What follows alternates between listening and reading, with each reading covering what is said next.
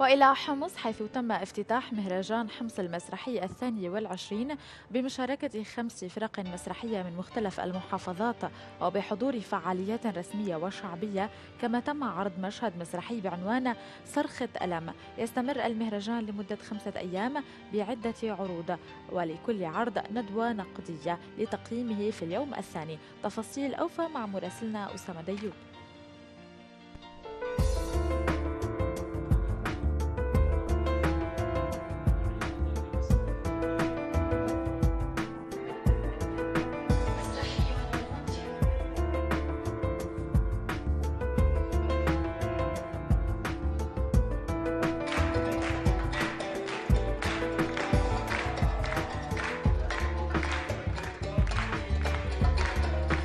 نحن آه، نرى اليوم آه، جمهور حمص المتألق بشبابه وكل آه، من له الرغبة والهواية في حضور هكذا مهرجانات. ونقول للإرهابيين بأن موسيقانا أقوى من رصاصهم ومسرحنا وثقافتنا أقوى من إرهابهم. من هنا كان عندنا رسالة. طبعا رسالة مهمة كثير إلى الداخل والخارج. لحتى نقول رغم ما تتعرض له سوريا من هجمة كونية شرسة من قوى الشر في هذا العالم لا زالت سوريا كما علمت الناس الأبجدية الأولى قبل عشرة آلاف سنة علمتهم القراءة والكتابة. حاليا سوريا تصنع أبجدية جديدة في القرن الواحد وعشرين تعلم الناس الصمود والمقاومة والفكر والإبداع والفن. ضمن هذه الاحتفالية وضمن هذا التوجه يقام مهرجان حمص المسرحي الثاني والعشرين. طبعا هو آه، متابعة للمهرجان الماضي الحادي والعشرين ونحن في هذا العام نؤكد استمرارية هذا المهرجان بشكل دائم.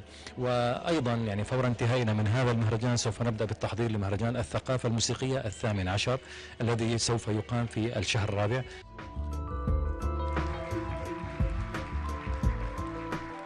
المسرح هو يبني الإنسان يعني. الحجر بيرجع بس الإنسان ما راح يرجع. آه، أنا اشتغلت على هذا الموضوع وحاولت جاهدا إنه خليني أقول آه، كانت البندقية تبعي هي آه، المسرح يعني. أهمية المهرجان إنه رجعت الروح للمسرحيين ورجعت المتعة للمشاهدين.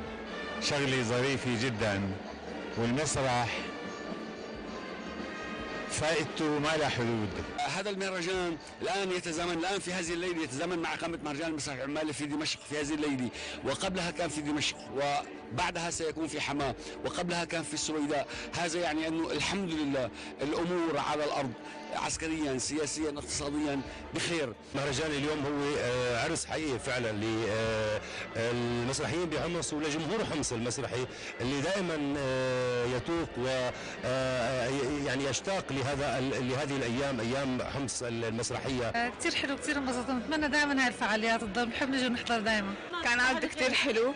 آه كثير وصل شغلات يعني إنه حلوة من العرض الأول للمسرح للمسرح إنه المسرحيه القصيرة.